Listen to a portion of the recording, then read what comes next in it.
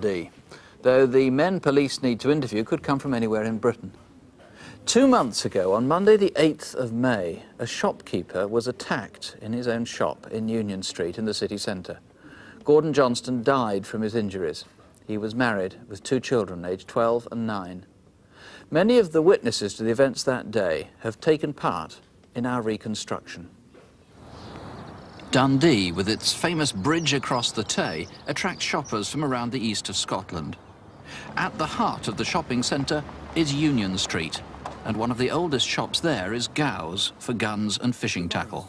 How's the family? Very well, actually. It's Alistair I'm in about. I'm looking for a gun for him. He's joining the gun club. Something to get... Gordon Johnston had been working here since he left school at the age of 16 in 1955. He began as an assistant and had now become manager and sole employee.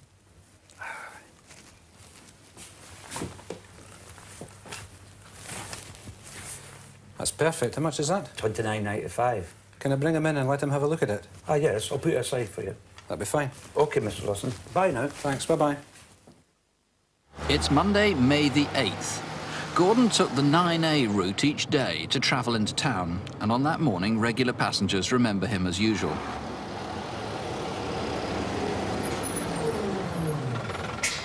He was seen getting off the bus opposite Burton's at about 8.45 that morning, and he then walked along the Nethergate to the shop.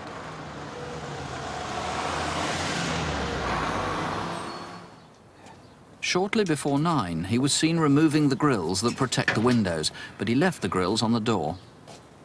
Then, before opening the shop to customers, Gordon went on a couple of errands. Morning. At the gas board showroom, the till receipt shows he dropped in to pay his bill at three minutes after nine. Three pounds and seven Thank you. Thank you. Bye. Mr. Johnston then went shopping. Gordon Taylor, a bank employee, met him back near Gow's. He glanced up at the church clock and remembers it was 9.14. About then, another witness was heading up Union Street. Well, I went to the baker's and did some messages, and I walked up past the shop. And as I was passing the man bending down, I heard a remark. I slept in this morning. And there was two men at the window who may be speaking to. A salesman phoned Gow's sometime between 9.15 and 9.20, and someone answered. Ah, good morning. It's Mr. Travers of Whatmore Clothing. Look, uh, we have a new range of outdoor jackets, and I think you'd be... Mr. Travers doesn't know who he spoke to, but assumed it was Mr. Johnston. He thinks whoever answered was used to dealing with reps and described him as sounding middle-aged. Yeah, fine. Mm -hmm. Well, well, actually, I'll be up in Dundee later today, so is it all right if I drop by? Ah, that's great. That's fine. Well, look, I'll see you later. John Richmond is the postman for the district. He was surprised to find Gow's shut and was unable to deliver the mail. We know that was at 9.24, since a few doors up he crossed the road to Henderson's Jewellers and was recorded on their security camera, which shows a clock.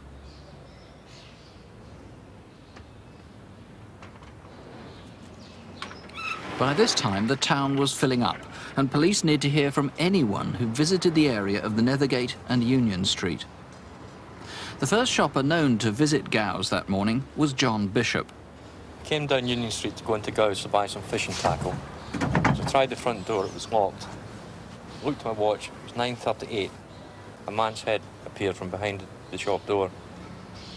And as I turned to walk down the street, his head appeared again. He didn't seem concerned that he'd seen me at all. A few minutes later, Marion Davidson went to the shop. As she tried the door, she heard a voice. She didn't have time to wait and went to work. Kenneth Hasty was walking up Union Street, and so was Linda Galozzi. When Linda drew level with Gow's, she saw a man acting suspiciously, and she stopped to watch. He seemed to be having trouble locking the door.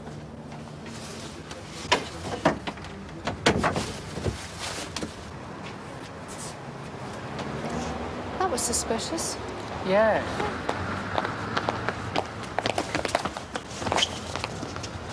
Some people are ignorant. Mr. Hastie remembers that the man disappeared behind a red van parked outside Scott's bar. So when what? Inside the bar, the owner was talking to a member of her staff. Are you open? No.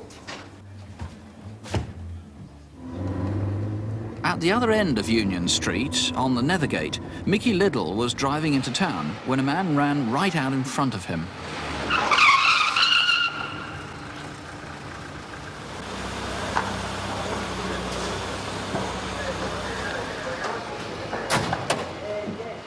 By 4.30, a customer had become so concerned, he'd summoned the police.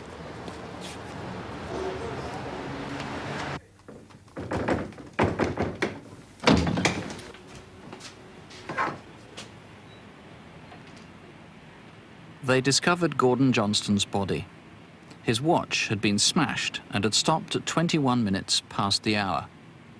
In fact, the hour hand was broken in the attack, but presumably it was 21 minutes past nine, which means that it's very important to identify those two men who were seen looking through the looking into the shop window a little bit earlier. Indeed, yes. One is described as in his late 30s and 5 feet 9 inches in height. The other is smaller and described in his 20s.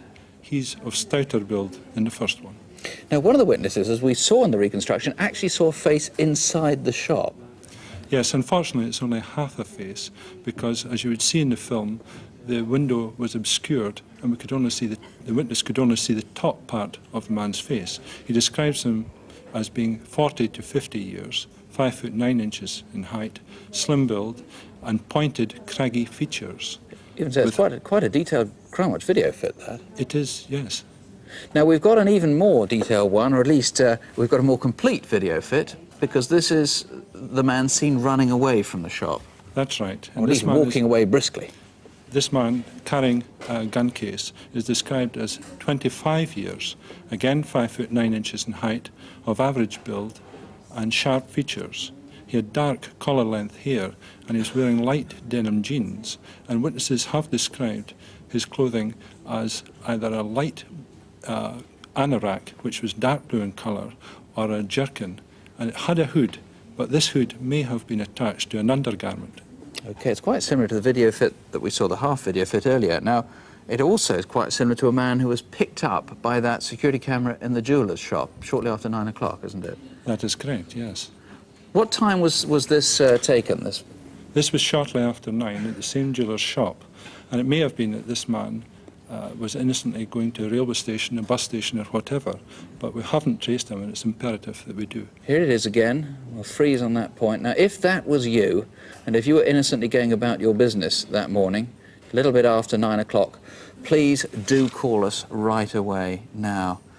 There was uh, a clasp knife found as well. This outside Scott's Bar, which is on the route that uh, the man was seen walking away fairly briskly. You suspect this might have been stolen from Gow's. Yes, Mr. Johnston did sell such knives, but unfortunately we cannot say how many have been stolen, or indeed this is only one. So if anybody was uh, offered uh, an Opinel French clasp knife in suspicious circumstances, particularly in the Tayside area, you need to hear from them. That is correct, yes. Now, he was a popular man in the vicinity, and I know local people have been very upset, let alone the family.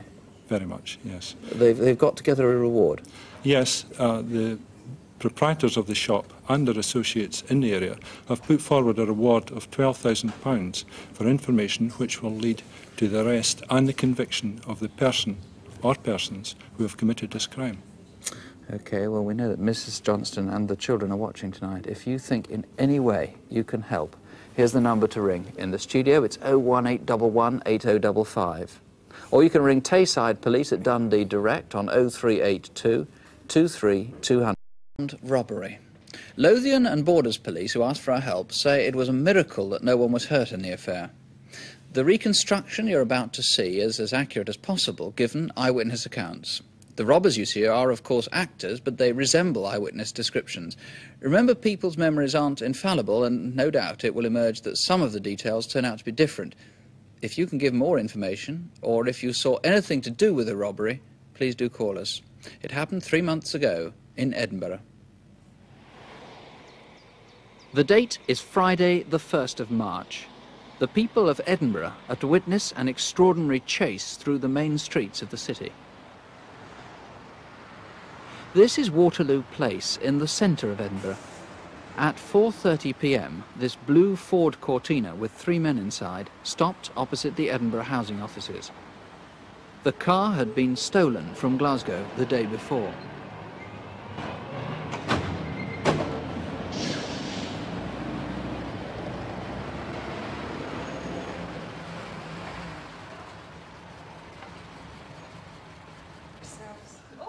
One man stayed outside and one went inside as though he was a council tenant here to pay his rent.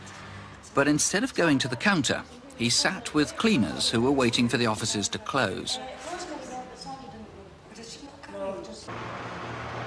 Several minutes later, a Securicor van arrived to collect the day's takings from the cashiers, leaving a guard to keep watch in the back of the van.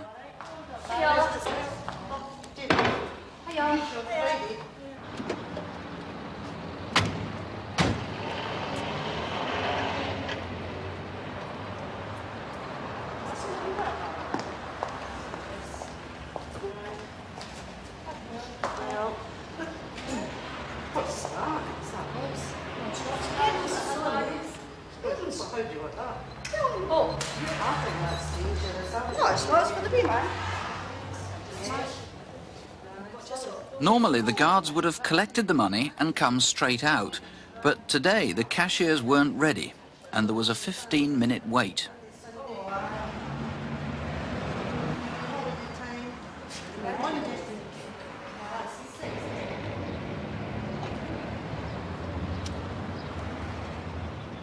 This long delay enabled witnesses in the building to give a very full description of one of the robbers. He seemed about 30 years old, six feet tall, well built with black, straggly, unwashed hair and a scruffy moustache. He had a pale complexion. It's now 4.45 p.m. It seems that by looking through the window into the cashier's office, the accomplice outside was able to give a signal that the guards were about to emerge.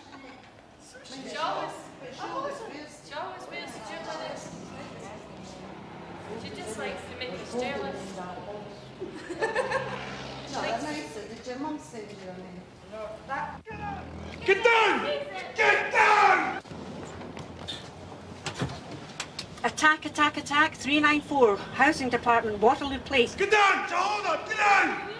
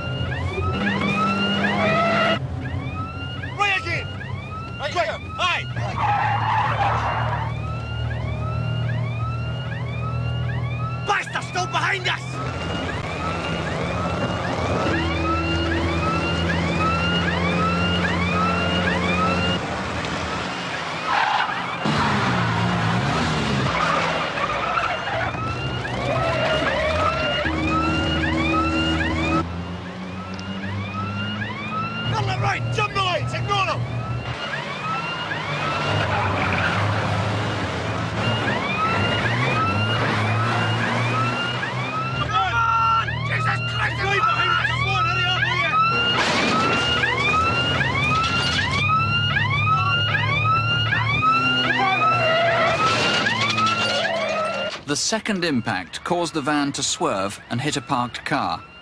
As the Cortina sped down the Royal Mile, the robbers found they were on their own. For the moment, they'd got away. Turn right! At the bottom of the Royal Mile, they swerved right into the car park of Scottish and Newcastle breweries. The van had lost them from its sight and drove straight past.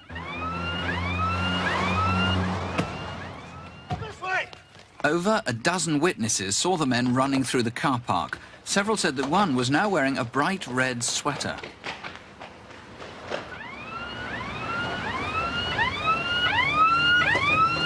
The Securicor van had lost them, and with a burst radiator, it had to give up the chase.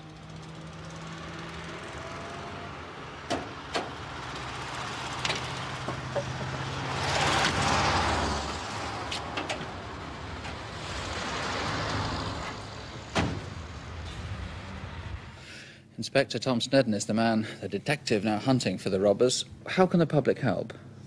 Well, I would ask anyone who witnessed the robbery or the subsequent chase through the streets of Edinburgh to contact us if we've not already interviewed them. Now, as we said, we've got a very good description of at least one of the one of the robbers. Just just tell us again what we know about him. I think it's important to emphasise the point that uh, the men are actors. The description of the gunman, he's about six feet, approximately 30 years of age. He's well built.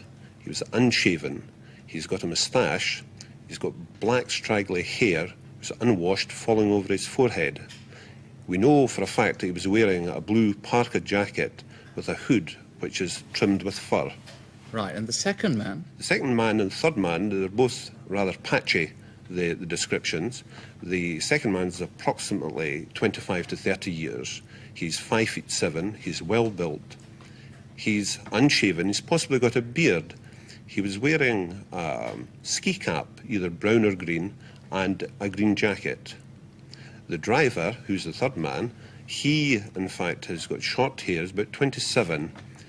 He's clean shaven, but we do have witnesses speaking to the fact that he's possibly got a bad complexion, pockmarked or spotted face. Now, you mentioned things that they were wearing. Uh, on the other hand, when we saw them in the last shot as they were escaping from the car park, one of them, it seemed, was wearing a bright red pullover as they ran off into Holyrood Road.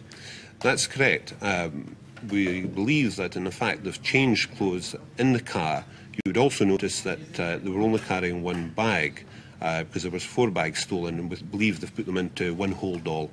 Right.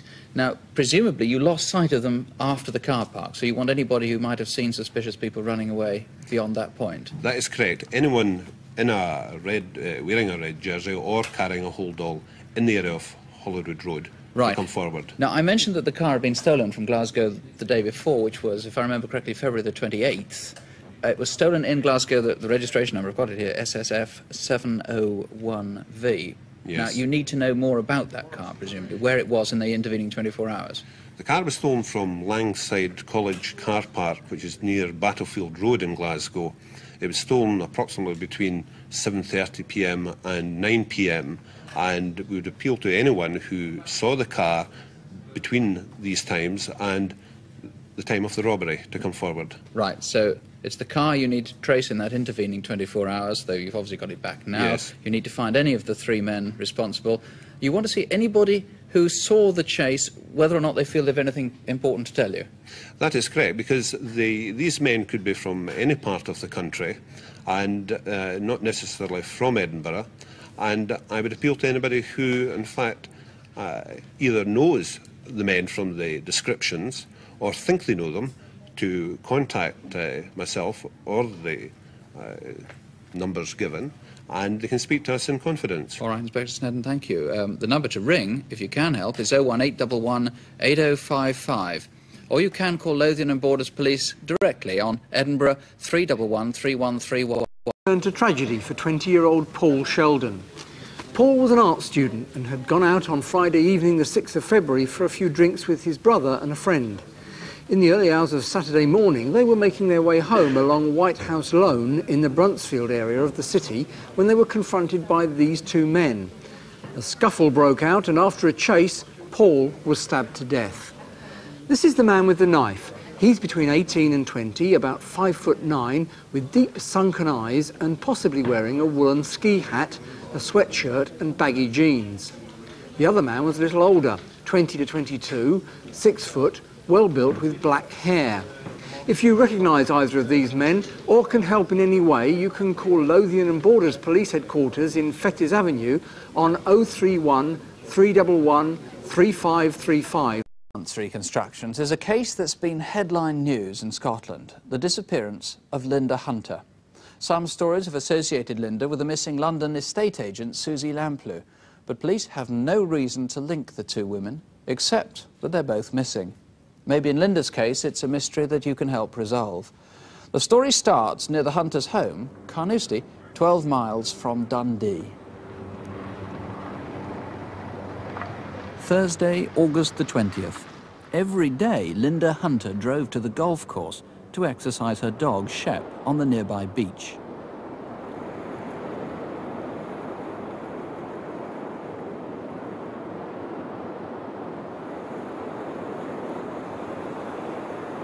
Lynda was generally in high spirits. She just discovered she was pregnant. She worked at a residential home for the elderly in Dundee, but she and Shep were inseparable. She always took him with her. Though only 30, Lynda was second in charge of the home, a job that frequently involved working nights. At 6.30 that Thursday evening, Lynda phoned her mother. I'm all right, but I'm feeling a bit sick. She was devoted to her parents, who were both unwell, and she phoned them almost every other day. Yeah, bye. Lynda and her husband both had that Friday off, but Lynda had early morning sickness and stayed in bed.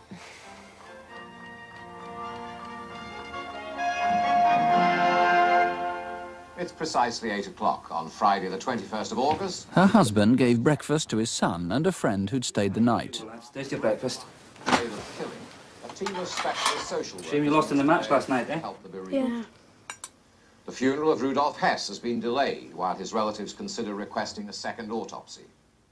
At 8.20, the two boys left to catch the bus to school. At about 10, Andrew drove Lynda to the chemist's. Good morning. Oh, good morning. Um, I'm six weeks pregnant and I've been suffering very badly from morning sickness. I wonder if you had anything to help me. How long is it lasting? Oh, it seems to go on all day. In that case, I don't think that there's anything that I could recommend that would help you. I'd suggest that you go and see your doctor. Really? I'm sorry. Okay, thanks. Bye. Lynda went round the corner to the health centre and asked for a prescription from her doctor. Well, actually, Dr. McKendrick isn't in the health centre at the moment. I'll speak to him when he comes in and ask him, but he may want you to make an appointment. Would you call back just after 11 o'clock and I'll have seen him by then? Thank you. Thank you. Bye. Frustrated by all this, and by now feeling ill and irritable, Lynda went home with Andrew.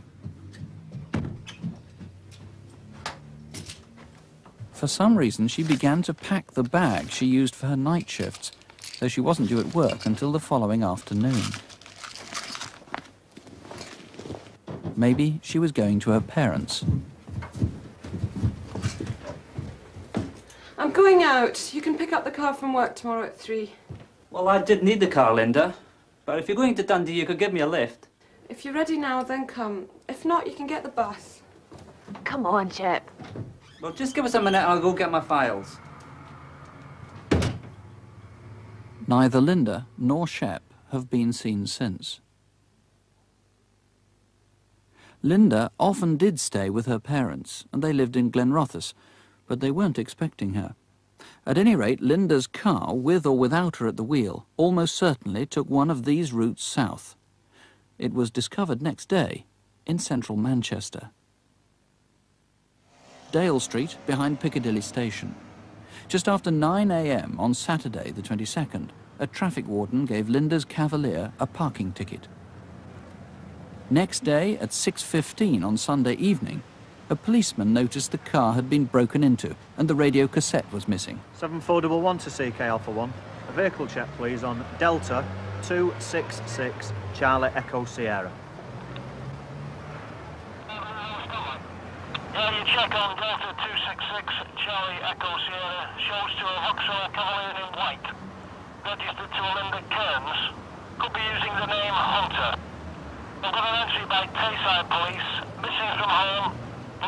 When police examined the car, they found suggestions that Lynda had not been the last driver.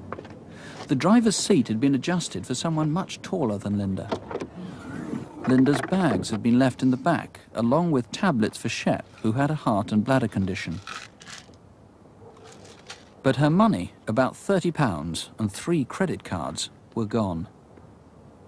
One of her earrings was found lying in the boot. The grey covers that had been on all the seats had been removed from the front. And the floor mat on the passenger side was missing. Both the tools and the spare wheel seemed to have disappeared. In fact, the wheel had been fitted to the front offside. So where were the tools and the other wheel and tyre? It was a distinctive Antibes Cavalier. Somewhere between Carnoustie and Manchester, between Friday and Saturday mornings, that wheel had been changed. But where and by whom? Leslie Liney, it seemed logical that whoever took off the seat covers and took the mat away from the floor was doing so to make sure there were no forensic clues left behind. This is certainly a very strong possibility. I know that technically you are not investigating a crime, but you must be fairly pessimistic about the chances of finding Lynda. We're very concerned for Lynda's safety, and uh, I would certainly appeal to Lynda, if she should be watching this programme, to please contact us. You think there is a faint possibility she might still be alive? A remote possibility, I think. Now, her dog, of course, is also missing. Live or dead, may have been found. He's, he's quite an old dog, 14 years or so. Yes, the dog's 14 years old. It's a cross collie. Uh, it has several distinctive features. All four feet are white. The dog has been neutered, and there is a small operation scar on the right haunch. Now, it also had a heart and bladder condition, didn't it? Uh, Yes. That's hence the pills. Maybe a vet has uh, got some information about that. But it's only that very distinctive dog with that scar on the right back leg that we're interested in. Also, of course, there might be witnesses to the drive down because that car, uh, D266 CES, E had a puncture by the looks of it. Yes, uh, we would be very interested in anybody who may have seen the car between uh, Carnoustie and Manchester uh, on the 21st, 22nd of August of this year.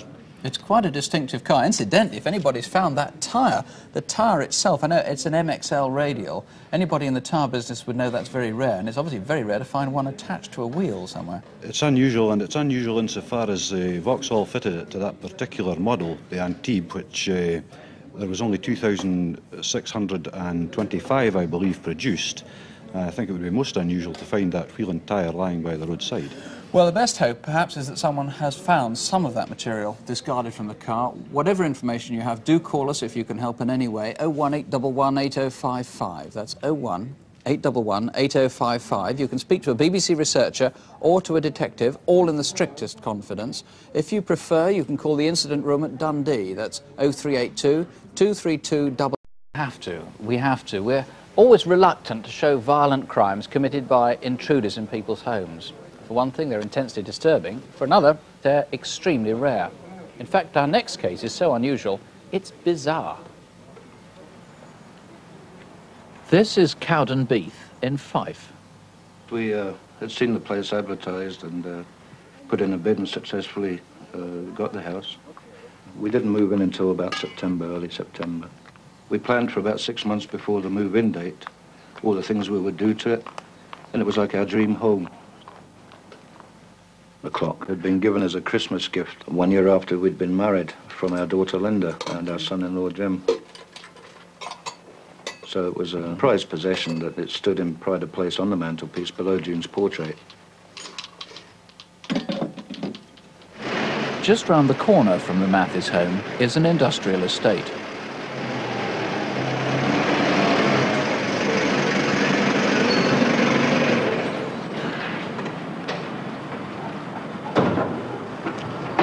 Who's in charge here? I'm in charge. Oh, well, we've been doing some tarmacking down the road, and uh, we got some left over. And know, we noticed you got some potholes here that need filling. and we need- we'd wondering, would you like us to do it for you? So what are you for that? 15 quid. Right, okay. The full squad struck me definitely as uh, us travelling people, more from the gypsy side. Had uh, an English accent, and he'd said he'd been working down in the Manchester area. Right, that's about the size of it then. That's £1,650, please. The boy told me it's going to be 15 pounds. Yeah, 15 quid a square metre. Oh, I can't afford that. Hey, hey, hey, hey, hang on, you can afford it. You've got a thriving business here. So if you want your business to thrive some more, you'll pay up, okay? What do you mean by that? Listen, I'll tell you what I mean by that. I'm getting my bloody money's worth out of this place one way or another, so you better pay up, mate, okay? At that point, I took that to mean that he was going to smash the place up overnight. So we paid the money, and away we went. Just more or less to get them off the yard. One week later, on a Friday afternoon, June Mathis was finishing work at her pub, about five minutes from her house. Nice me getting off now, Linda. I'll see you tonight. See you later. Cheerio. She would have been at her home when this man was driving down her street. From the Perth Road, I pulled into Lucas Beef Drive at about uh, 4.45, heading up towards my house. And I noticed a white van parked on the corner of Glenfield Drive. It was half on, half off the path, which was a bit weird. Guy Mathis works in the oil industry and was looking forward to the weekend off. When I left work that evening, a lot of work had been done to the house, so um, the tiler had been in to finish tiling the kitchen, which was one of the very last things that was being done to the house. So it had just about reached the completion stage, and I was thinking, God, when I get home, I'll have a look at the tiles, and that'll be virtually us, finished and completed our dream home. It was about quarter past six on a Friday evening. I was driving down Glenfield Road. When I turned the corner, I saw someone standing on the pavement. When I glanced, I saw it was a, a man standing, uh, standing still for no apparent reason. I thought it was strange. It was dark and there wasn't any bus stop nearby. Hello, June. Home. This is it. Get down! Get down! Get down! Where's your safe? Where's your safe? There's no safe. He kept on about two safes, and I says there's definitely no safes in the house.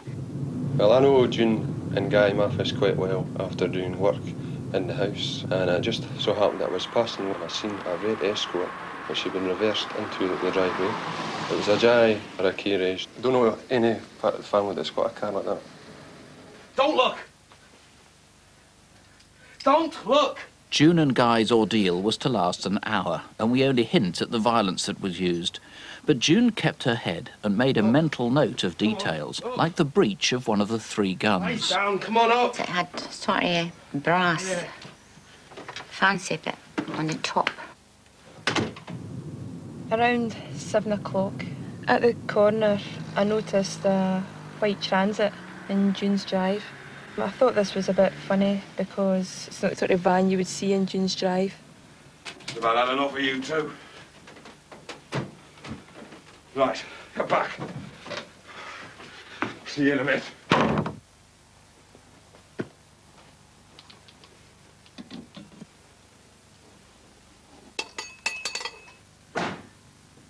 you think they've gone?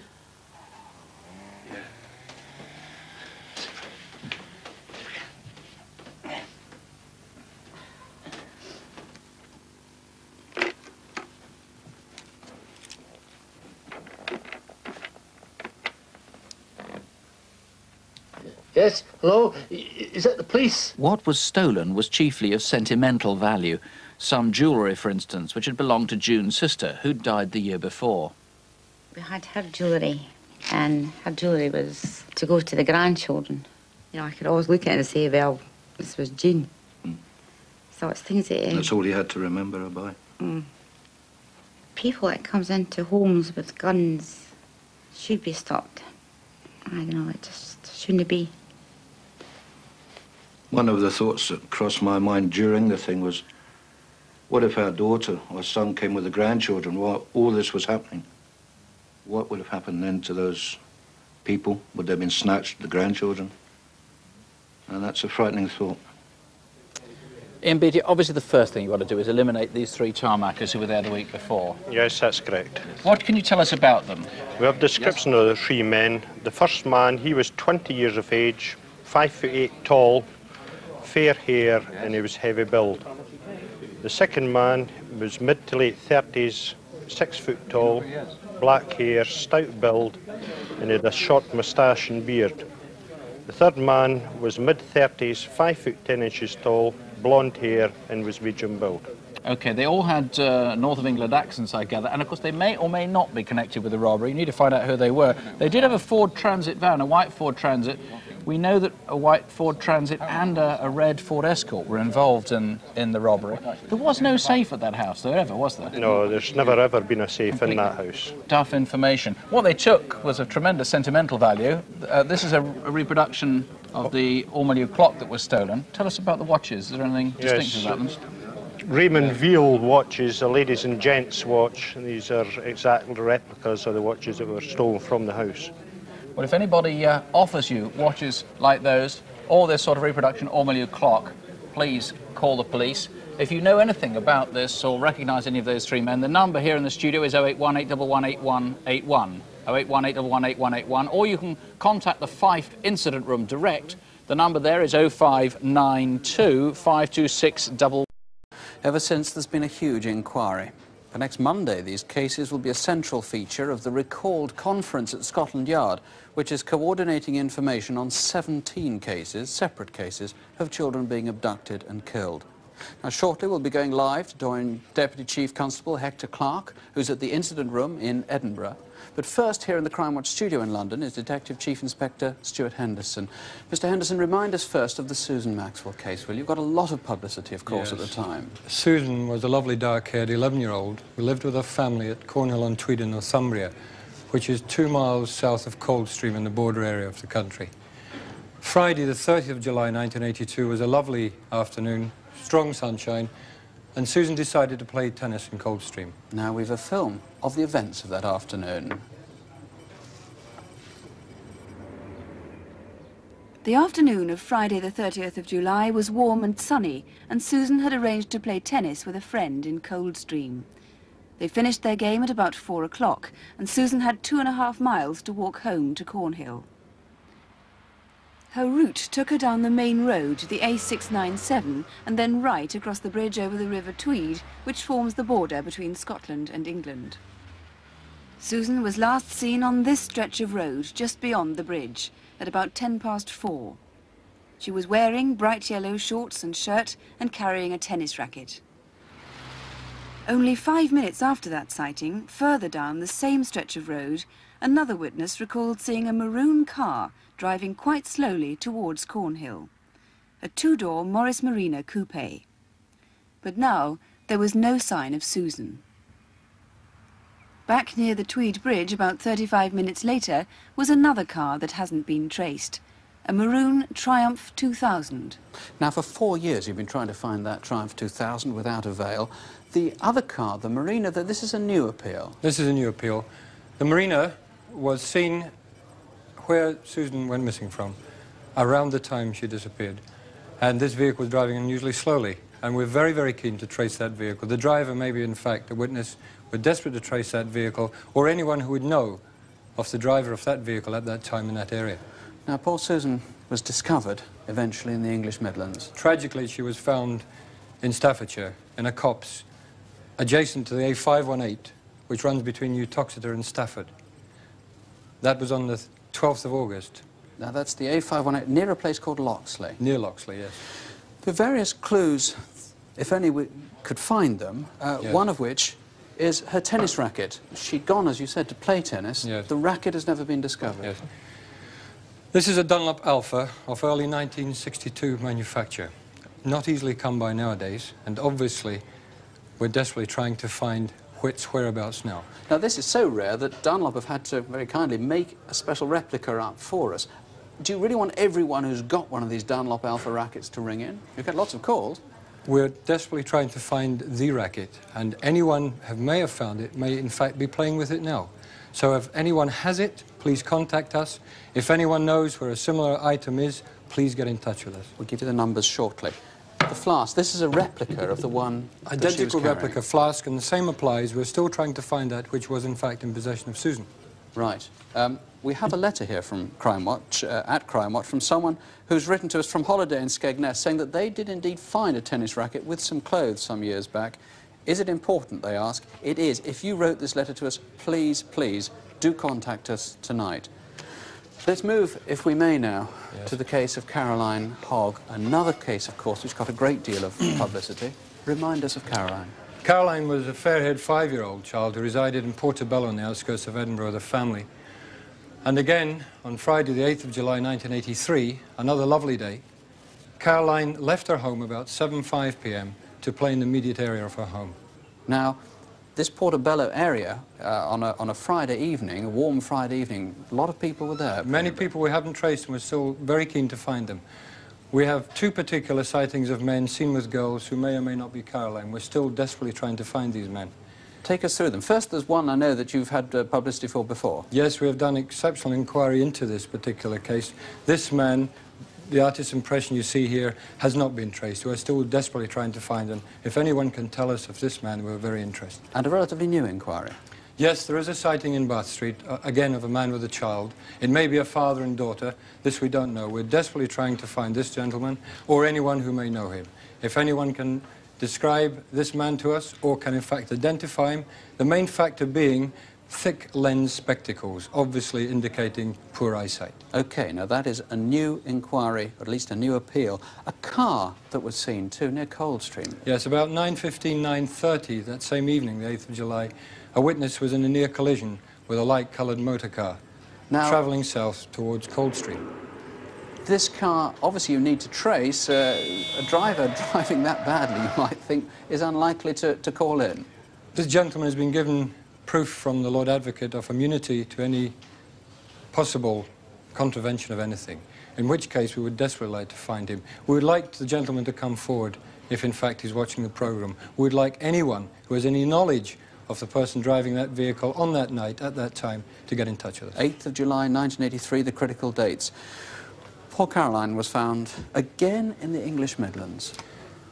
Some 300 miles from the abduction point, Caroline was found in a lay-by adjacent to the A444 in Leicestershire, on the junction, uh, or the junction road between Twycross and Twycross Zoo. Now, she hadn't lain there all the time since the date of her abduction, so for there's a, two or three days she might have been seen with somebody, she might have been... The suggestions from our inquiries would indicate that she may have been other than there between, say, the 9th and 10th of July. Right. So if anyone has any knowledge of that or sightings, we're obviously interested. Her clothes have never been recovered. These are replicas. Just quickly explain them to us, can you? This is the party dress of a five-year-old child, as you see here. She was wearing that evening when abducted. We have not recovered it. It may be lying in a field. Someone may have seen it and left it. It may be, in fact, in someone's house. The Right. person that took it may, in fact, still have it. We're desperately trying to find it. And the shoes similarly? The shoes apply in the like case. We have not recovered them. We're still looking for them. If anyone has any knowledge, we wish to trace them. Thank you very much indeed. Well, let's now go live to Edinburgh, to the incident room, and to the man who's in overall charge of this inquiry. He's the Deputy Chief Constable Hector Clark. Uh, Mr. Clark, good evening to you. Uh, Firstly, t- tell us what special appeal you're now trying to make tonight. Well, for, for four years now, we've carried out an intensive inquiry, and we have to admit that we're no nearer to finding out who killed or who, who abducted these two children. Really, what we do now seek is information from members of the public. Mr. Henderson has already given you some indication of that, but I would like any member of the public who has a suspicion about any person to let us know at once whether or not they have access to one of the cars that your program has featured, or whether or not they fit the artist's impression that were also shown in the program. Now, you've revealed quite a lot of new information tonight on these two cases. How convinced are you that these two cases are likely to be linked? Well, we've always said that there were similarities, but there are also differences. I suppose there's a fair chance that they are linked, but for investigative processes, we've treated them jointly yet separately. We've never, uh, we've always made sure that we've managed to retain our separate identity in each case. Now, I know, Mr Clark, that somebody has written to you directly at Edinburgh, someone you're desperate to get in contact with again. Yes, we've, we've had two letters, uh, one in 83 and one in 84, from uh, a lady, obviously the same writer, who was uh, writing in the first instance from Dundee. In the second instance, she said she had moved to uh, North Angus, which is in the area just north of Dundee. She indicated that on the afternoon that, that Caroline Hogg went missing, she met a man in Dundee. That man was going later that day to Edinburgh and thence to the Midlands. We're desperately anxious to trace Alice, or the, the writer of these letters. And uh, also, we would like to hear from anyone who thinks they can tell us who Alice is. Mr Clark, thank you very much indeed. The number direct to the incident room there in Edinburgh and to Mr Clark, 031 311 3505. Remember, it's in confidence. 031 if you're outside Edinburgh, 311 3505. is of an armed raid on a bank near Edinburgh Airport, a robbery that must have been meticulously planned. And that's where maybe you can help. As you'll see, despite a silent alarm which secretly alerted the police, the gunman managed to escape, and in a most unconventional way. They may well have driven over their escape route in advance. It took them through places where cars are rarely, if ever, seen, so if you saw them, you'd certainly remember. Our reconstruction begins on the day the robbery took place, two months ago. It's the afternoon of Monday, July the 10th.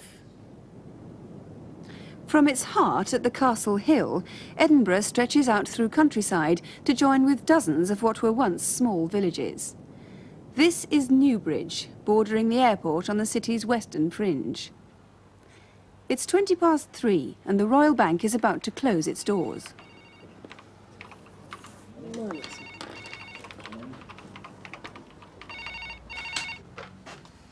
Hello, assistant manager. Can I help you?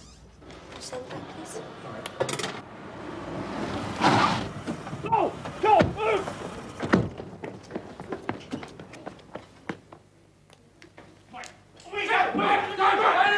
Come on now! Face down! Empties Erich to all vehicles stand by. That's a raid alarm in operation at the Royal Bank of Scotland. Foxtrot 16 en route to Newbridge Bank. Right, kids, find them! I haven't got them. Well, find them now! Do it.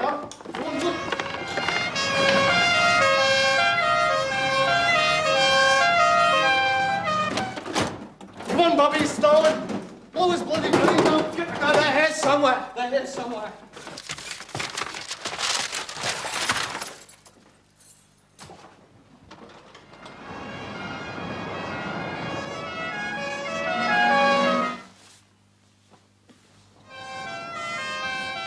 By now, five minutes had elapsed. The police were taking up positions in a cordon round the area, while other vehicles sped on towards the bank. Come on, move! A passing motorist saw the robbers running to their car.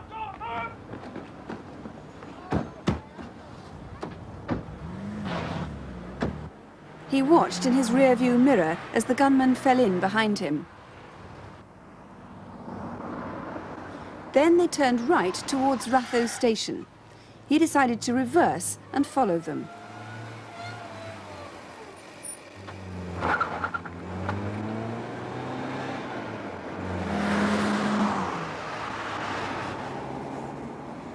The robbers turned left into the grounds of the Norton House Hotel. The exit from the hotel is the A8, often clogged with traffic. Quite sure that the getaway car would be caught up in it, the witness abandoned the chase to let the police know where the robbers would be found. On the police. The speeding car attracted the attention of people in the grounds. All vehicles attending at the Royal Bank of Scotland, Newbridge. The silver Astra has been seen entering the grounds of the Norton House Hotel. But still in the grounds of the hotel, the men abandoned the vehicle.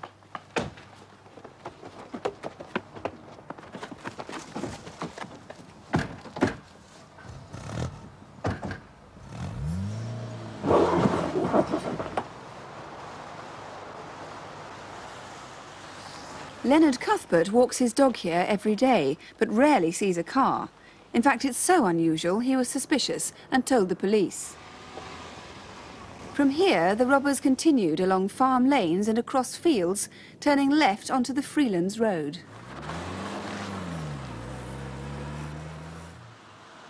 A panda car searching the area was looking for robbers in a silver Astra. Empties are to all vehicles attending the from Bank of Scotland. It's a lookout request for a red Astra, Echo 102, Bravo Delta Sierra. Hello Control from Charlie 2, reference the bank raid at Newbridge. We're now in pursuit of red Vauxhall Astra motor vehicle, Echo 102, Bravo Delta Sierra. The vehicle is travelling east on Freelands Road towards Ingliston from Charlie 2 over. Roger Charlie 2. The red Astra was last seen leaving Norton House heading towards Ingliston. But that was the last the police saw of the robbers. What is now known is that they continued along minor roads to Roddinglaw, where again they took to farm lanes and the fields. Approaching the busy A720, they avoided traffic by driving underneath it, through a pedestrian subway. Still using lanes and back roads, they drove onto the Sighthill Industrial Estate. Later that afternoon, police found the car abandoned outside the Ethicon building on Bankside Avenue. Well, Mr Crookston, it was an elaborate getaway. It must have been planned in advance. It was well planned in advance, yes. It's an area where uh, courting couples go and where people regularly walk. Um, and I would ask anyone who was on these tracks that day uh, to get in touch with us. In fact, though, if it was planned in advance, we're not only talking about uh, July the 10th, the day of the crime, but uh, any, any time in weeks leading up to that. Days and even weeks before 10th of July, yes. Right. Perhaps the most public place, apart from the bank itself that day, where people, many people may have seen them, is at the Ethicon building, where they abandoned the red Astra. That's right. The police recovered the Astra fairly quickly after the raid. Uh, it is an area which, as you've said, is very, very busy, and uh, people must have seen the men leave the car there. I would ask anyone who did see these people leave the car to contact us as soon as possible. Now, both cars were stolen from Glasgow, both on the same day, which was the 7th of July. Where exactly were they stolen from? That's right. The silver car was stolen from Anderston Quay in Glasgow and the red car from Hill Street. We are anxious to trace their movements, obviously, between the 7th and 10th July over that weekend. And again, if anyone saw them, uh, we would like to know about it. One thing, they didn't change the number plates of either of the cars. So if I could just tell you what the number plates are again. The Silver Astra's registration number is B37 BYS, and the Red Astra's registration number is E102 BDS. So the cars are now back with their rightful owners. We're not interested in sightings since the 10th of July, but we do not want to know, we do want to know where those were between the 7th and the 10th. Yes, indeed. Do you have any descriptions of the men? Yes, we do. Uh, as one of the, the raiders was leaving the silver-coloured car to go into the bank, he pulled on a mask. He is described to us as being between 30 and 35 years of age, 5 foot 7 to 5 foot 8 in height. He has collar-length dark brown hair, a dark moustache, and the witnesses describe him as wearing Buddy Holly-type glasses, dark-rimmed glasses. And that particular man, I gather, was heard to call another man by name. The name Bobby was used during the raid in the bank. So it could be genuine or could have been a blind, you never know. We just don't know. And there's a reward, I gather? Yes, the banks have agreed uh, to pay up to £10,000 for information leading to the arrest and conviction of the people responsible for this robbery. All right, well, Mr. Crook Crookston, thank you very much indeed. Here's the number if you can help. It's 01 811 8055 here to the studio, or you can call the incident room in Edinburgh direct, and that is on 031 311 3211. David Hatcher. First on incident desk, that request from police north of the border. On November the 11th last year, a body was washed ashore on the Isle of Tiree, a few miles off the west coast of Scotland and 70 miles to the north of Ireland. For the past 10 weeks, forensic scientists have been trying to identify it, and have now been able to establish three basic facts. It was a woman aged about 60, she was 5 foot 4 inches tall, and her body had been in the water for about six months. And there are other clues to her identity. These red patterned socks belonged to the woman, and she was wearing black boots with elasticated sides. We need to know if anybody recognises them or knows where they were made. Most importantly, if you've any idea who the woman might be, please call us. Ferocious robbery, a ram raiding attack, which in which two shop workers were almost killed. It happened two months ago at the Jewel on the outskirts of Edinburgh. It was 8.30 on the morning of Thursday, October the 9th. We've used actors throughout this reconstruction, and the security routine we show has since been substantially changed.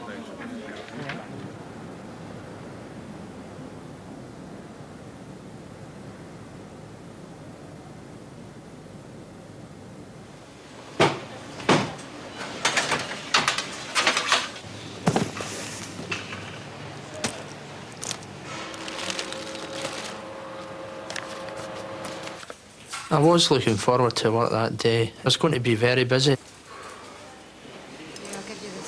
No two days are ever the same, and it's a challenge every day. 8.16 a.m. and the car park's almost empty. But whose is this? A red Vauxhall Omega, a rare high-powered saloon.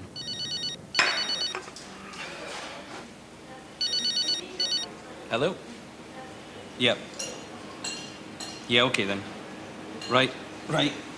Listen, I'm gonna have to go. Mm. See ya. As I was waiting for my statement to print out from the cash point, I just turned round and I'd heard a car coming into the car park. I found it quite strange because obviously the, the shop wasn't open. So here was another red car, one of several that morning. This one, a maroon Cavalier that had been stolen two days earlier. It now had false plates copied from a legitimate Vauxhall Cavalier that's unconnected with what happened next.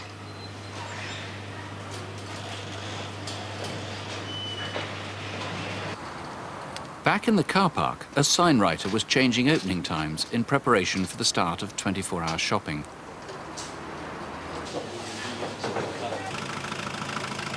As I was driving out, a second car had drove in. It was a small car and it had three people in, and it drove up beside the first car. I thought it was quite strange because no one was getting out of the cars. They did look quite relaxed. I thought maybe they were dropping someone off at work.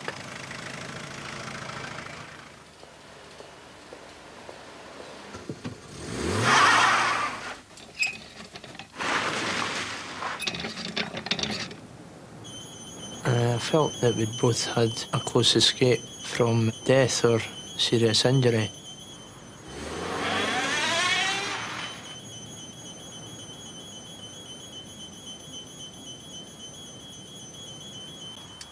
The men I saw running into the shop maybe weren't even in the car in the first place. They may have been stood outside and run in. They were all really calm. Get down! Get down! Take it easy, mate.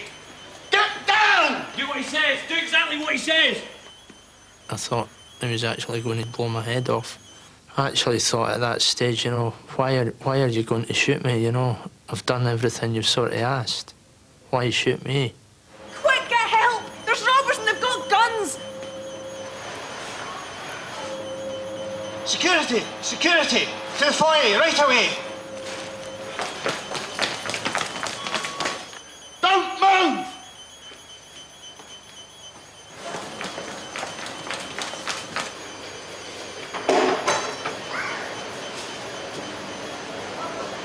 The two robbers, with their driver, made off in the Cavalier. Calmly, they turned right out of the Asda car park towards the A1 roundabout. But there, the driver seemed to lose his cool. From here, they briefly disappeared. Where did they go? They had no right to do that to us as ordinary shop workers, just trying to make a decent living. I still feel very angry. In the next 10 minutes, the Cavalier must have stopped to let out two members of the gang. A witness at Newcraighall saw only one man in the vehicle. I remember looking at the car, I didn't recognise it, and I didn't recognise the chap that was inside it either. He was early to mid 30s. He had sort of olive, darkish complexion. Um, he was quite slim. He had quite a lined, gaunt face. He had short, dark hair with a receding hairline. I thought he had either a mole or a spot or something on his cheek. I remember thinking it was a nice car, and wondering what the chap did.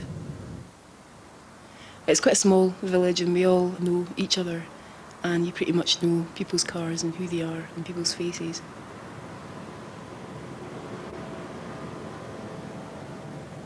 He pulled in just next to the, the, the skips, um, about so 20 yards from my car, um, and just parked. And I looked across at him again. There was another car parked directly across from my car. It was a red car that wasn't normally there. This could have been the Peugeot 106 seen earlier at Asda. Did you notice it that morning? The driver of the Cavalier seemed to amble away. But did he then double back into Klondyke Street and drive off in the red Peugeot? Harry McAdam once inclined to use terms like professional meticulous with this crime, but actually it was bloody reckless as well, wasn't it? Yeah, that's absolutely right. These men showed a total disregard for the members of staff's safety.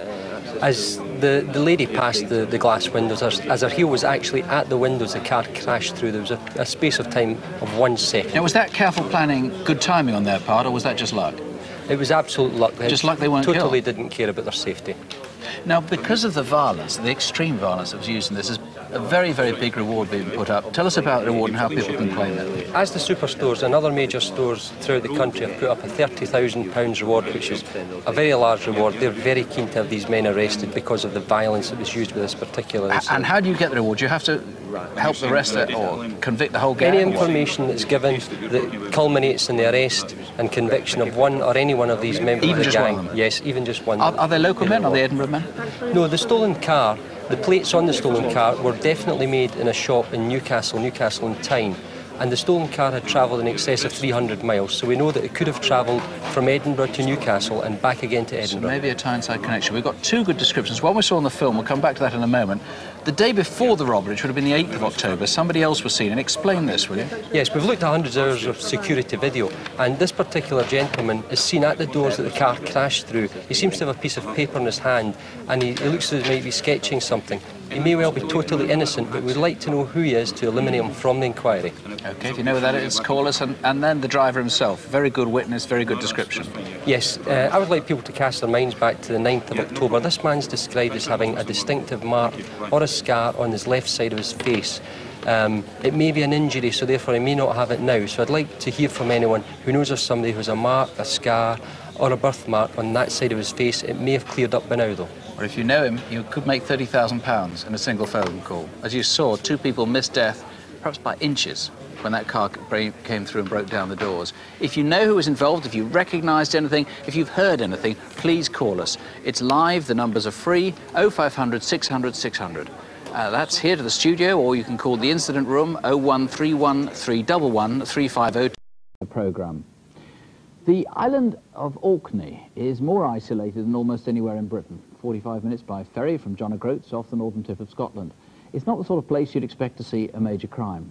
And when one happened there this summer, it was a crime that would have been extraordinary anywhere.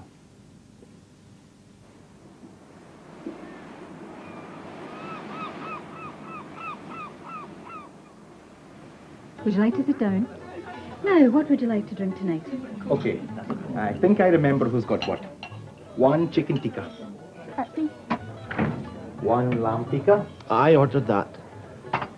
Very good. And uh, who's the chicken chat? Oh, that's mine, thanks.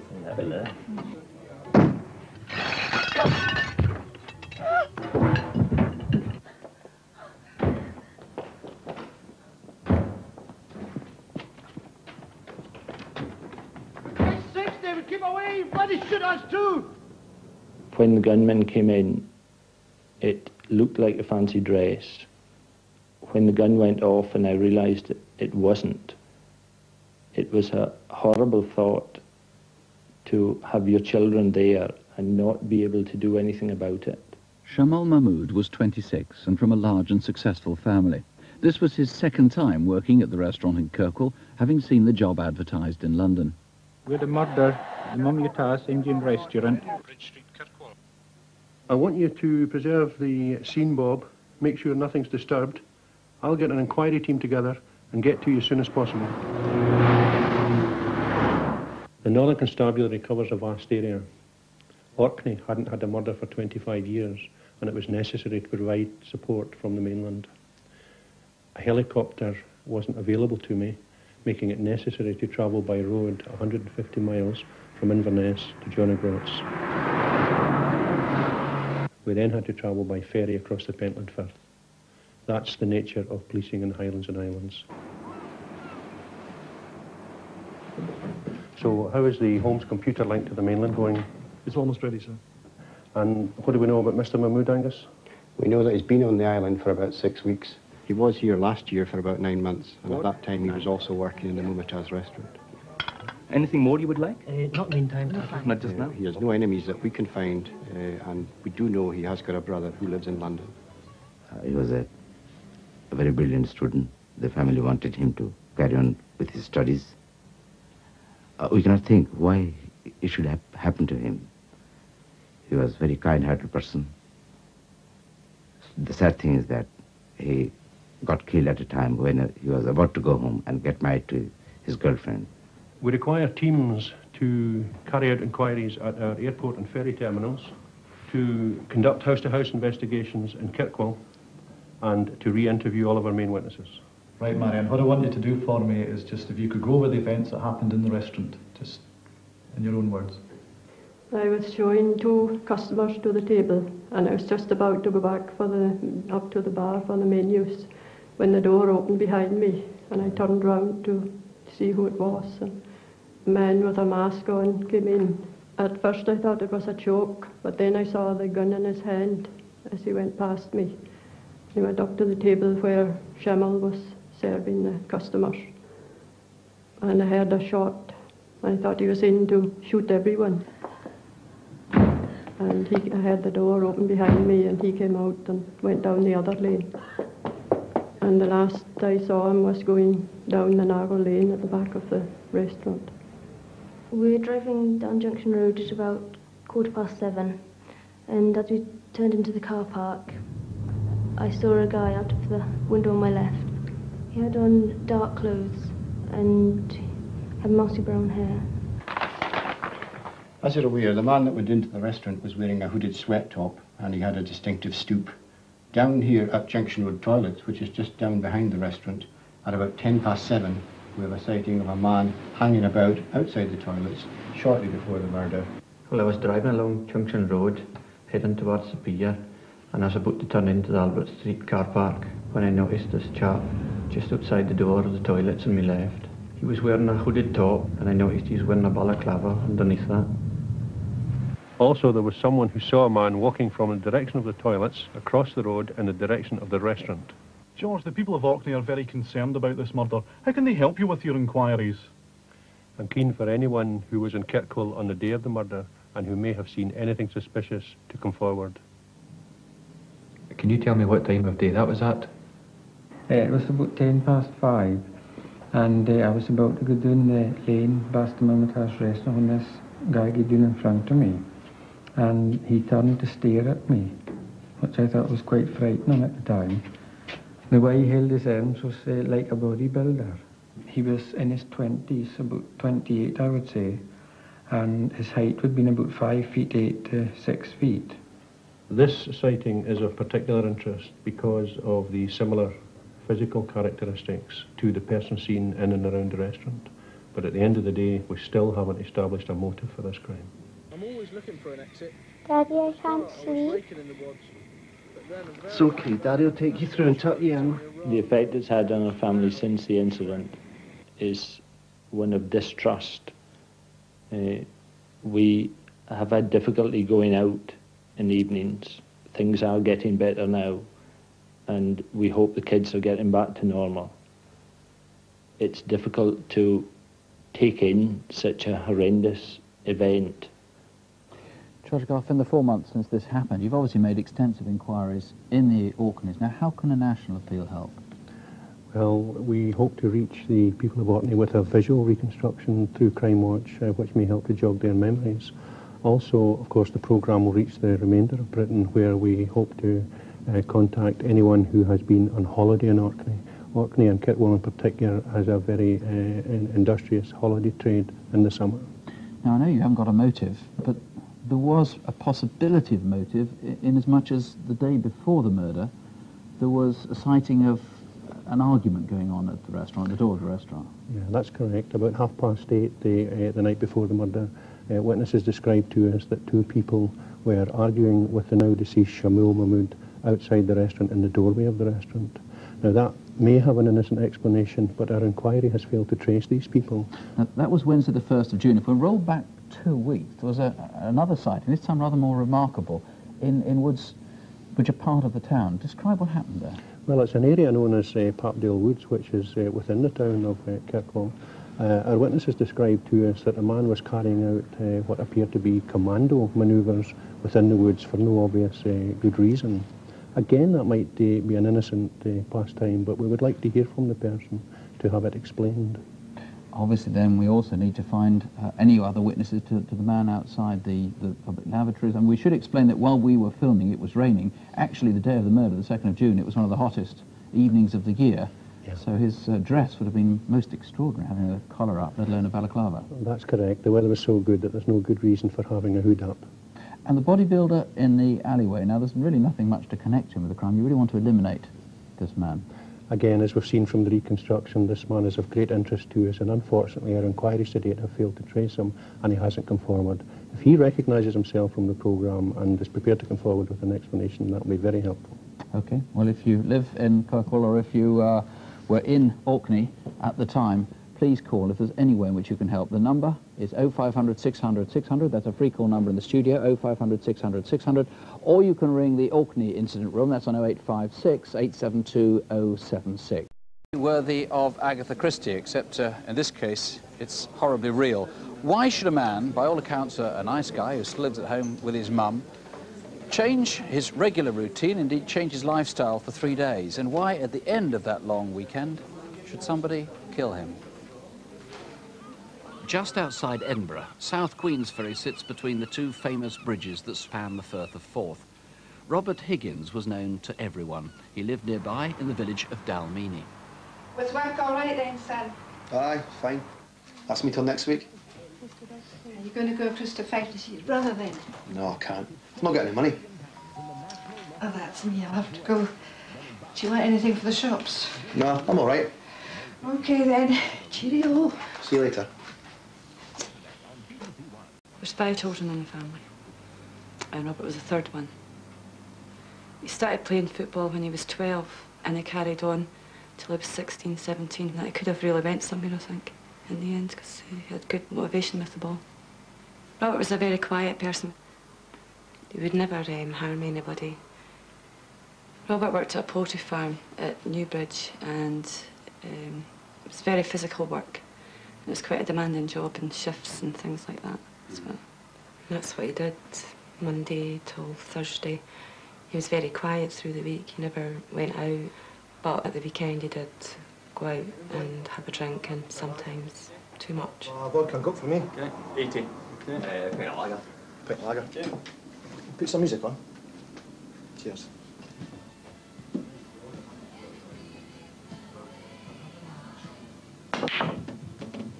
Oh, we're going to have to Kirkliston tonight. Why, where do you want to go? Cutlands. Aye. I haven't been for a while. What time's the next bus? We'll get a bus. We'll get a taxi. Oh, come on, Higgy. It's just two minutes up the road. We'll get a bus. You'll get me on the bus. Look, I've got the money. We'll get a taxi. You're daft. Aye, fair enough. Hey, Bob. Good night, Bob. Higgy had come in with some friends about half past eight and my friends left about half past eleven. So he just sat himself and finished off his drink. Uh, okay. I'll just finish this wee bit off, aye. He left about 12 o'clock, went down the stairs as usual. Right, get Bill. Right. Just put the jacket on. Cheers.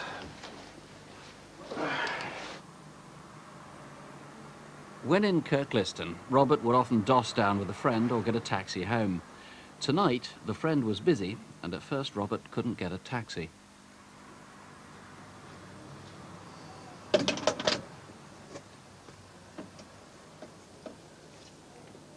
He was still in Main Street, Kirkliston, at 2 a.m. He didn't go home on the Thursday night. He obviously had somewhere that he was going to. And I found it quite unusual that he didn't phone my mum, which he would normally do. He'd always phone my mum to say he was stopping out. But by 11.30 on Friday morning, alone at a local hotel, Robert was seen again. Why was he here? And where did he spend Friday lunchtime until the early evening? It was about quarter to eight, and I was on my way to the shop, and I saw Higgy standing outside the Queen's Retreat. He was speaking to a man in his late 30s to early 40s, about five foot eight to five foot ten, and had dark brown hair. We found that really unusual with Robert not going into the Queen's, um, so he must have been waiting on someone outside, um, and it was a Friday night, so uh, he hasn't still phoned, phoned home and he still hasn't contacted the family in any way. Then, for the second morning running, Robert turned up alone at the Forth Bridges. Who was he staying with nearby? And again, where did he spend the rest of the day?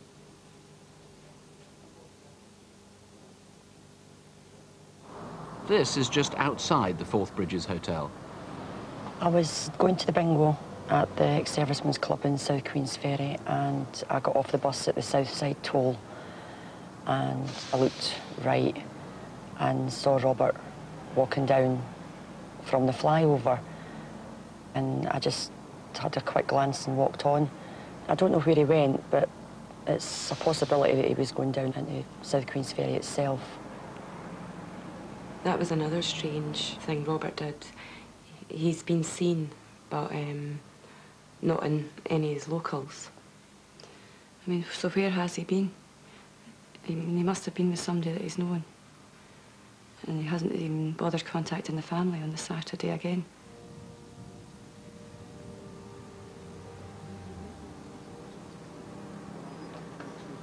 It was Sunday. I'd been to Queensferry Parish Church and I left there about 11.20. I went into Morrison Gardens and I saw Robert coming along the road. I knew Robert from school, but the people he was with I didn't know. I thought that they were looking quite worse for wear. Were you among this group? Or do you know who they were? Robert wouldn't sleep rough. He wasn't the type of person who would just go to a park bench, sit down, go to sleep. He was scared of the dark. I can't imagine him sleeping out in the dark. You know, he certainly, we feel Robert stayed somewhere over that weekend. Um, we feel someone maybe seen Robert coming and going that weekend. Next day, Monday the 1st of May, Robert Higgins' body was discovered at a quarry three miles from his home. He'd been stabbed. Superintendent Dougie Watson, you're convinced this is a local crime, local people have the solution to it? Yes, this has been a local inquiry and the answer almost certainly lies locally. But tonight's reconstruction gives the community in South Queensferry and Kirkliston uh, the first opportunity to really see the sequence of events that leads up to the Robert Higgins death that weekend. And we hope this will jog some memories. But, but more importantly, I feel that Higgy was such a well-known character uh, in that community that I feel the information that's been coming into us has been very, very slow, simply because the public there feel that we know that information already, and that's just not the case. What we need from that community is every single piece of information they have about Robert Higgins and his movements that weekend, especially where he spent the missing nights that weekend. Somebody out there in that community knows exactly where Robert Higgins stayed on these missing nights, and my appeal is simple. Let us have that information. 0500 600 600. 0500 600 600 is our free call here. Now, that couple in Morrison Gardens, you've got quite good descriptions of them now since we did that reconstruction, particularly the woman. Yes, the female, she's slightly different from the person portrayed in the reconstruction. She's slim to medium build and around five foot five, but she's white, 45 to 55, black curly perm, collar length hair, wearing a blouson style jacket and light coloured trousers. The jacket itself light coloured as well. Uh, the male, he's 35, 30 to 45, sorry, 5 foot 8, 5 foot 9, short brown hair, clean shaven, uh, casually dressed with a casual shirt, but also wearing a suit style jacket. Now, back on the Friday night, that's what, the 28th of April, just after he was seen outside the Queen's Retreat, that was about 7.45, he was seen another man, we saw that in the reconstruction, yeah. he was seen again with a couple. Yeah, around 9 o'clock uh, that night, uh, Robert was seen in Rosebery Avenue uh, with a couple. One female's described, and she's described as being white, in her 40s, heavy build, fair hair, cut short at the back, but longer on the top, uh, wearing a black dress-style jacket and clutching the shoulder strap for a, for a black shiny shoulder bag. And again, we feel that she's got to be a local person. Robert's family obviously distraught about this. They managed to, to get together a reward. Tell us about that. Yes, by various activities in the local community, Robert, uh, Robert's family and relatives and friends have gotten together and raised uh, £2,000. That's a reward that's up uh, for anyone who gives us information which leads to the arrest of uh, and subsequent conviction of the person or persons responsible for Robert Higgins' murder. Well, if you want to call uh, Mr Watson, call here. If you want to call the local police direct, the incident room is at Livingston. It's on 01506 445 655. That's 01506 445 655. Six months to a remote part of the country, and maybe you know somebody who's been there. On Monday, September the 24th, last year, the small village of Culbokie was shocked by a murder. The victim was Elizabeth Sutherland, a popular woman in the village and the mother of two children. Her home, Culbokie, is on the Black Isle, just north of Inverness.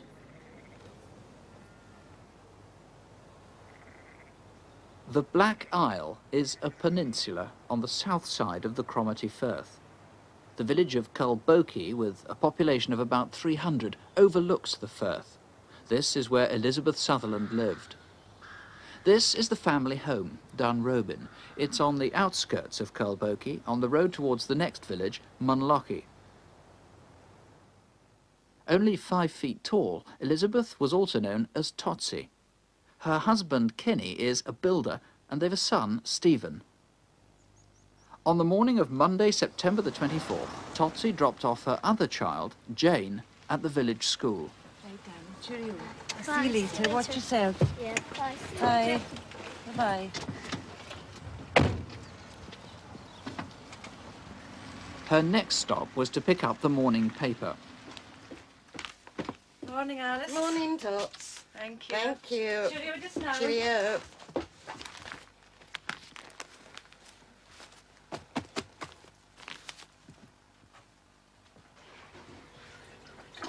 By 12 o'clock, after calling at her parents' house, Totsy was home and finishing off the housework. Then, about 12.30, she walked the 50 yards down to her parents' house to see her sister.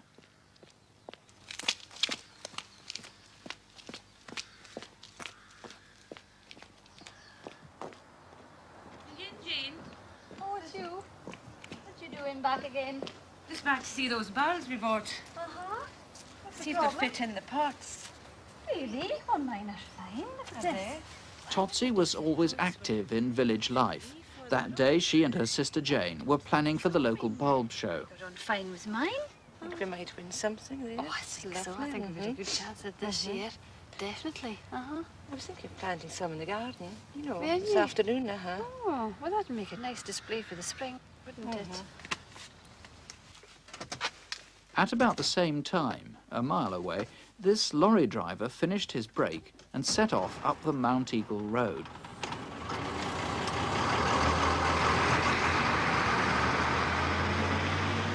The road goes by the Mount Eagle transmitter in the direction of Culbokie. A mile further on, he'd passed the Sutherland's house. As the lorry drove along the single track road, a red Cavalier car tried to get past.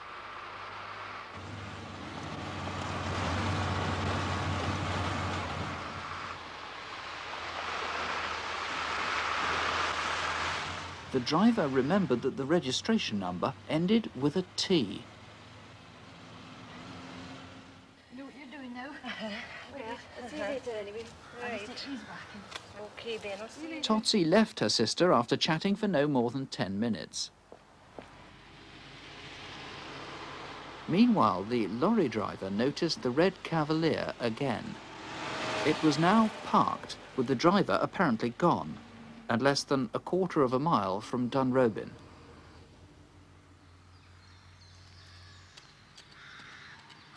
The lorry driver saw Totsy as he passed the house. The time, according to his tachograph, was 12.38. This was the last time she was definitely seen alive. Strangers and strange cars stand out in a small community like Culbokie, and several incidents were noticed that day. At one o'clock, this cyclist was seen heading into Culbokie village. He had a hat and a fawn coat.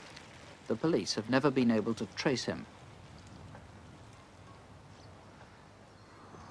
At 1.35, a man was seen on the Duncanston Road walking towards the village. He, too, has never been traced.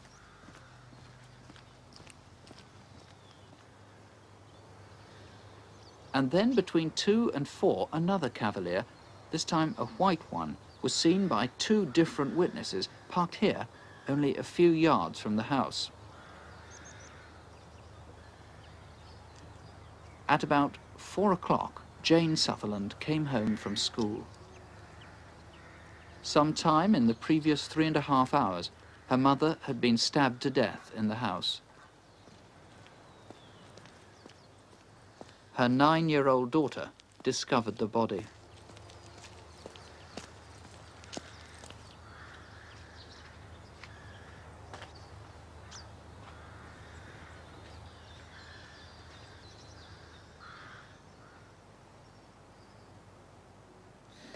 Superintendent Andrew Lister, how's the family now?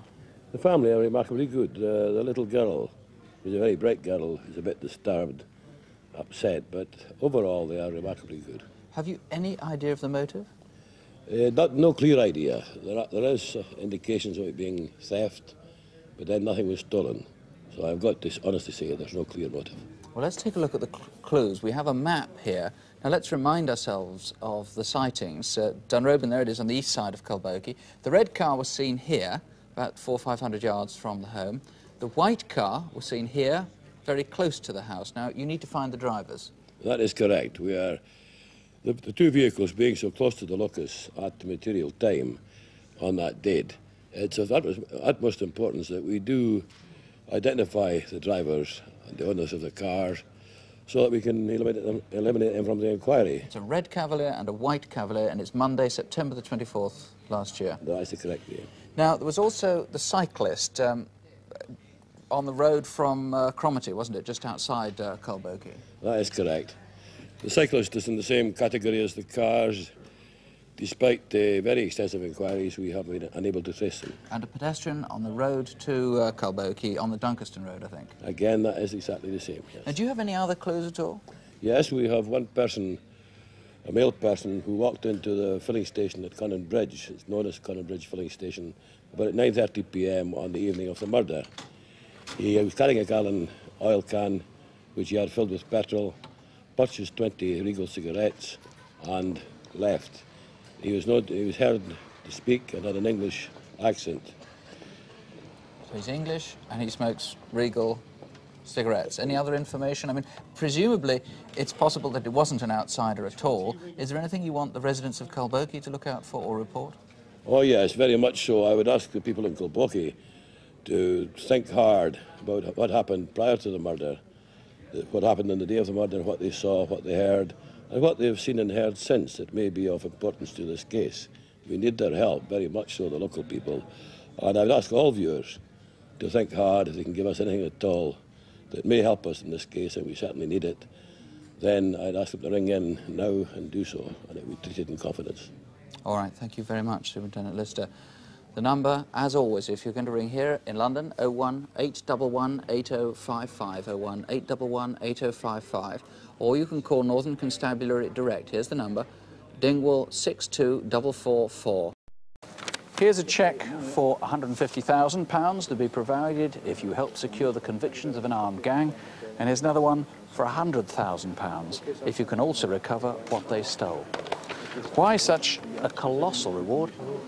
Well, security firms have had variable relationships with Crimewatch, sometimes keen, sometimes anxious to play down security breaches. But now a group of companies has joined together and said enough crime is enough.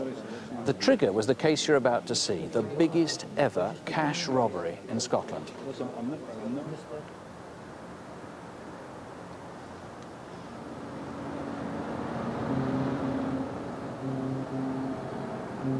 Eight weeks ago, in the oil capital of Britain, Aberdeen. Two miles south of the harbour at Altens industrial estate. Basically, I thought they were up to something. Um, a van parked at the side of the road that time of night, very quiet, all huddled up with dark clothing. He was about five eight. wasn't a scruffy looking man. Put a moustache, came down over his lips. Next afternoon, a Thursday, on the old coast road, two minutes from the estate, and a similar white van. He wouldn't let me past. There was nothing I could do about it. I couldn't get past. He obviously didn't know where he was going. Slowing down, accelerating.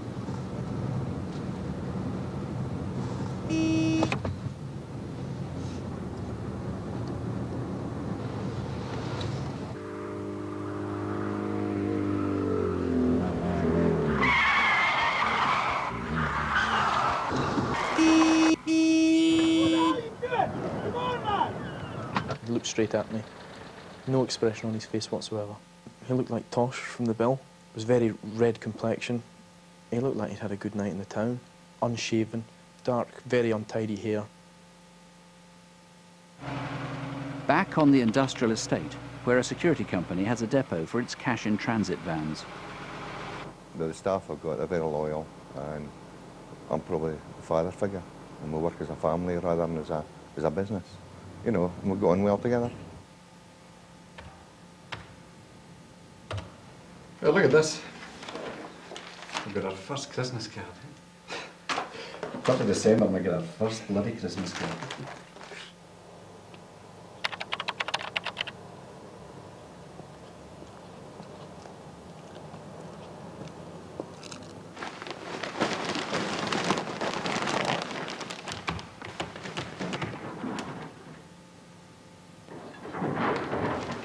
Sound of that.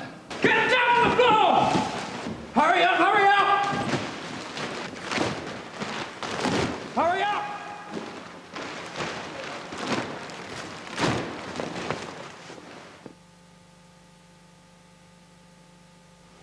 Shit, it's a raid.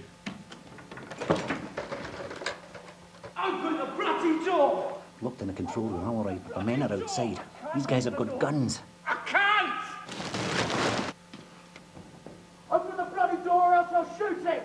Please, open the door or he's gonna shoot me! Open the front door. I could have kept the doors closed, but what could have happened? And I wouldn't have want any my crew's death in my house. You get a horrible gut feeling. Somebody's been in, they've, no, they've taken something of yours away. You know, it's like somebody coming in, uh, turning over your house. Nearby, rush hour traffic was building coming out of the estate. Behind the white van was a white Vauxhall Senator. They turned onto the Old Coast Road, heading south out of Aberdeen.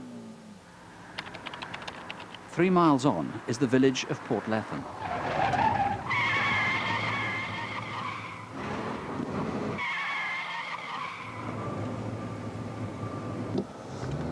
I was raging. Yeah, I just wanted to go after the car and ask the guy what the hell he was doing. I just kept on following. He went towards Asda. Meanwhile, another witness saw the white van arrive and head towards a remote car park.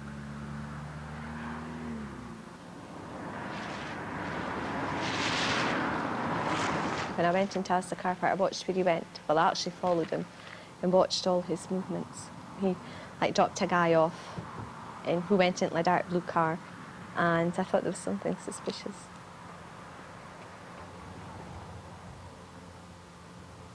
Well, he had dark hair. He looked like an Arab guy, like a dark skinned. He looked to me as though he was very suspicious.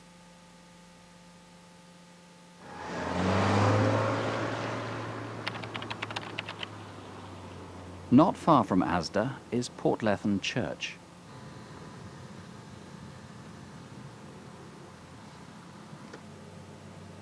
Is the Girls' Brigade on tonight?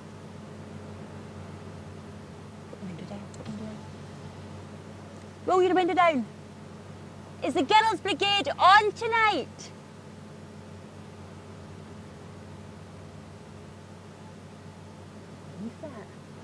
go.